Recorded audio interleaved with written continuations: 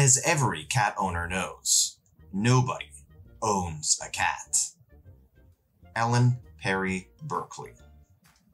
Such is the best description of a species known as Felis catus, the only domesticated species of felines on the planet, in sharp contrast to the lions, tigers, leopards, and jaguars that share its recent lineage. They lack the same level of ferocity, aggression, and strength of their wild counterparts, but occasionally they show a toned down version of it.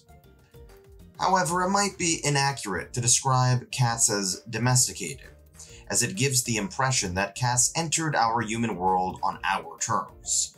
In reality, and in sharp contrast to all other domesticated animals, cats really just domesticated themselves. In sharp contrast to our best friends, the dogs, who look up to us, beg us for table scraps, and obey our every command, the cat takes orders from no one. The domestic house cat, as stated before, traces its ancestry from the feline family. The word cat refers both to our furry quasi friends, along with the pumas and leopards that would really not take much of an issue tearing your face off. It's quite strange how such an aggressive family of mammals that make up the apex predators of ecosystems across Africa, Eurasia, and the Americas could also produce a species capable of playing with yarn for YouTube views. Cats are up there with sharks and crocodilians as one of nature's finest creations, if you could call them that. Creatures of incredible speed, strength, adaptability, along with retractable claws. And while their evolutionary history is not as long as those, say, sharks or crocodilians, their ability to dominate biomes from tundra to deserts, savannas to jungles, is simply incredible. However, the species that would become the most successful on the planet was among the least impressive of its family. In contrast with dogs, which were domesticated from the grey wolf during the Stone Age, cats would domesticate themselves during the advent of human civilization in the Middle East and North Africa, the birthplaces of complex human societies far after the Mesolithic period of the Stone Age. This obscure animal is known as the African wildcat, a species that exists in the wild to this day across most of Africa, save the harshest areas of the Sahara and jungles of the Congo. They also are found across much of the Middle East, Central Asia, and the Indian subcontinent. While not as grand as the lynx or the Siberian tiger, their range and adaptability were unmatched by other felines. So too are their physical features to some degree. While I would not bet that the domesticated cat would win a fight with, say, a lion, these small felines have remarkable agility due to their sense of balance. This is where the phrase, cats have nine lives, comes from. This stems from their sense of balance. Cats are able to walk carefree on high ledges and narrow paths that only members of the Jackass movies would dare to do. They also have excellent night vision, needed for hunting rodents and other prey animals which are mostly active during the night. Most of you have probably noticed that if you have a cat, they're not exactly nocturnal or diurnal, but rather what we call crepuscular, meaning that they do most of their activity during dawn and dusk, napping sporadically during the middle of the day and middle of the night. This allows them to take advantage of hunting opportunities against prey, which tend to be less adaptive towards both night and day, and tend to stray the lines of a sort of binary between day or night. However, the cat's color vision is worse than that of humans. I suspect that this may be to the fact that cats are not really fond of eating fruit, and thereby didn't really need to develop as many color distinctions as diurnal creatures such as ourselves, which rely on eating a lot of vegetation. But that's just my guess. To make up for their poor daytime eyesight, they have whiskers, which help enhance their sense of touch, since they don't have hands. Their sense of hearing is fairly impressive, being able to hear ultrasound, meaning sounds with greater than 20 kHz. Their ability to detect sound from a broader range than humans helps them hear noises made from small prey animals. They also have a pretty good sense of smell. While not as good as dogs, it's certainly better than us humans. And let's keep it real, our sense of smell is really only good for detecting smoke and farts. Cats will even communicate using the smell of their piss. If you did this, you'd probably be arrested for public indecency. You might have also noticed that cats like to rub their faces on various objects. This is a way to mark their territory. If your cat rubs his face on your table, lamp, or toaster oven, that's its way of pretty much stealing your stuff. One of the most peculiar elements of the cat's olfactory systems is the effect of catnip. This comes from a type of plant that pretty much gets cats high, sort of, resulting in a sort of dazed and confused euphoria, just from contact to its smell. Granted, this doesn't affect all cats. It would kind of be like if beer or weed only affected 80% of people. The parallels between catnip and other animal stories of getting high, such as monkeys eating fermented fruit and dolphins getting high off of pufferfish, draw parallels between human recreational mind altering substance use. However, it's unclear to what extent cats and these other animals seek them out, and if it's possible that they could get addicted. Anyway, being creatures that evolved to be semi-arboreal hunters, a sense of balance atop high perches was essential for ecological success. When falling from a high area, cats will reflexively contort their bodies to land on their feet. However, this still has to be studied more to truly understand it, and it doesn't work in zero gravity. However, like nearly every other feline, with the massive exception of the lion, African wildcats and their domesticated counterparts are solitary creatures, not needing the same sort of social structure as humans, or even dogs for that matter. African wildcats, by and large, live on their own, with a few exceptions of mating and raising kittens. Once the kittens come of age, they are by and large on their own, except for mating season. This in part explains why cats are individualistic. All of life pretty much revolves around them, in sharp contrast to the dog, which was domesticated from the Eurasian grey wolf, a social animal whose life revolves around the pack. When dogs were domesticated, their social structure could easily fit in with the communal social structure of early humans. However, cats, not so much. You can see this in the behavior of your pet cat. An animal that sure tolerates you, maybe even enjoys your company, but lacks the same love and deference of a dog. Some people interpret this as cats being smarter than dogs. However, this is not true. Dogs are smarter. However, most people oftentimes think cats are smarter because they act in more dignified manners, such as not thinking that their own vomit is a snack food.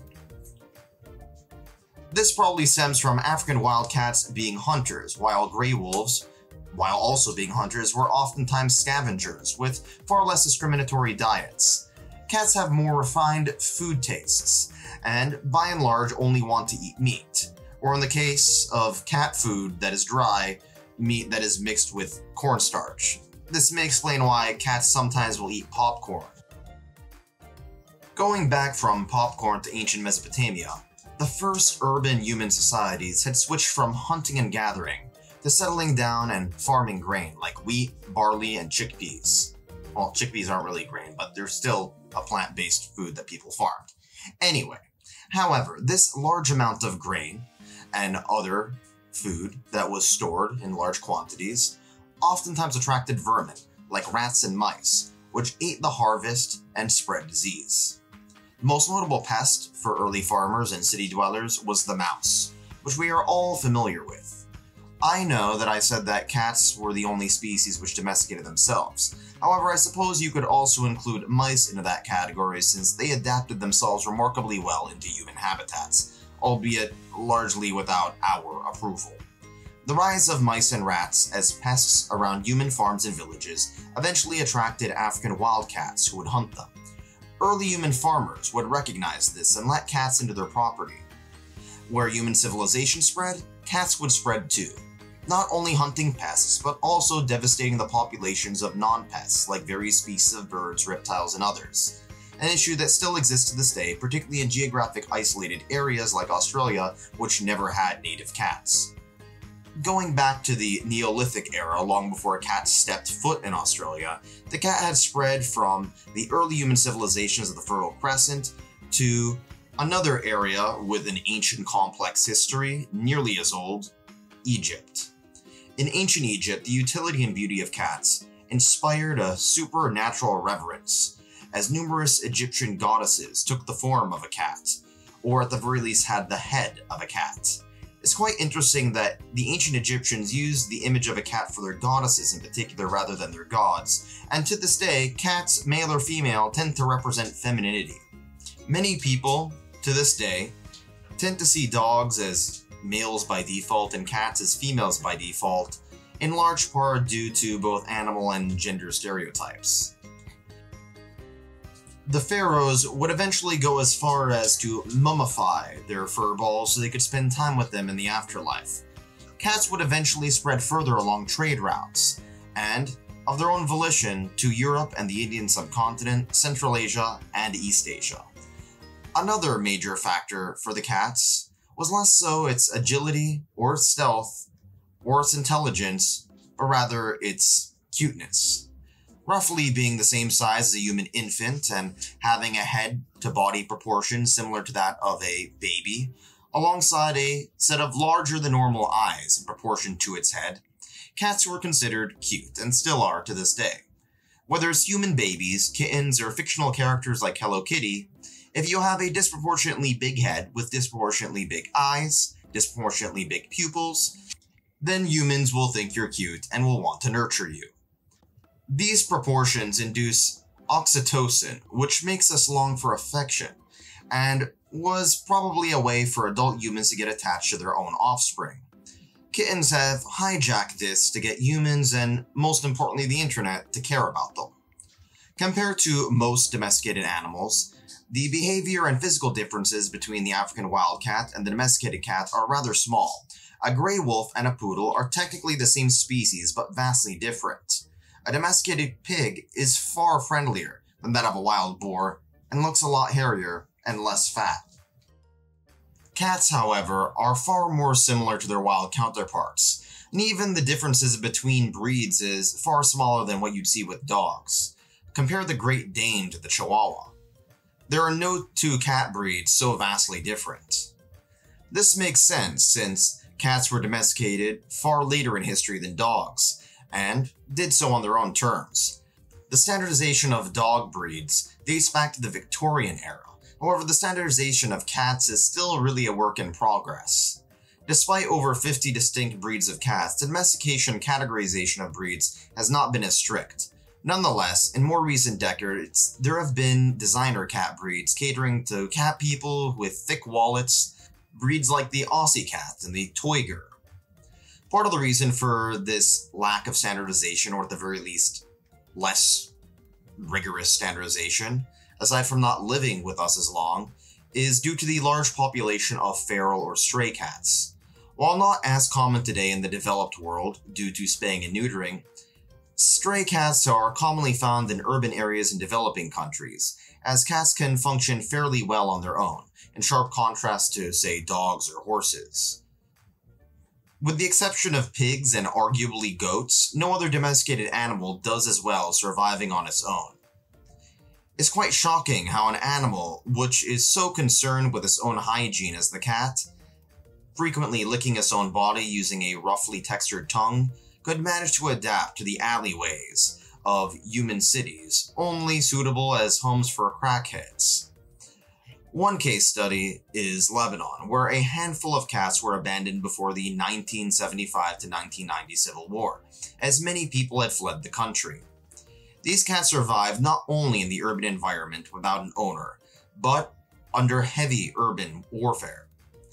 Their agility made the urban landscape an excellent habitat despite the bombardment, and they were naturally talented at parkour. Today, the capital of Beirut is one of the feral cat capitals, if you could call it, of the world, and pests are not particularly common as a result. And while cats are known for their refined taste and pickiness when it comes to food, they can abandon this in tough times, digging through dumpsters for what animal fat and protein can be found. Despite the success of feral cats, indoor cats still live far longer than their outdoor counterparts, as the former are protected from the elements. As much as it may suck for a cat to be indoors on face value, it's worth keeping in mind that both our pet outdoor cats and feral cats do a tremendous amount of ecological damage, killing countless small mammals, birds, reptiles, amphibians, and other small critters which are not pests. This has especially been an issue in geographically isolated parts of the world with a lot of endemic species like Australia and New Zealand, and to a lesser extent the Americas. In many parts of the world, cats are not natural predators, so the wildlife in those areas does not develop behaviors and mechanisms in order to avoid predation. In Australia, the government has even promoted euthanizing certain cats, which, while angering cat owners who feel a deep sense of connection to their fur balls, should note that the prevalence of feral cats has led to the extinction of over 20 species on the continent. Cats, aside from their cuteness, have also not helped their cause, given the fact that they oftentimes hunt for sport rather than food. Cats have even changed their behavior in response to humans. While the African wildcats are fairly silent as adults, only meowing as their kittens seeking attention from their mother, domesticated cats are far more vocal, and they do this in order to get human attention. Humans, after all, are not olfactory creatures, as we have a poor sense of smell, but we are auditory creatures, and our hearing is pretty good, and cats will oftentimes try to communicate us via meowing, and sometimes purring. The smartest cat species, like the Siamese cats, meow the most. Today, cats still perform their primary function of killing vermin. However, they are by and large mostly kept for companionship, despite them only being mildly amused by our, well, companionship. In contrast to dogs, we are more likely to love being with them than they really love being with us. Us humans are so fascinated by their every move, yet they seem so indifferent to us. I guess you could call them fluffy narcissists by nature. If you think about it, human babies are also narcissists, yet we take care of them every time they cry. And their resemblance to human babies is probably why we continue to keep them around long after the mousetrap was invented, and will probably continue to keep them around us. Like that one acquaintance that likes us, but doesn't really love us. Anyway, thanks for watching.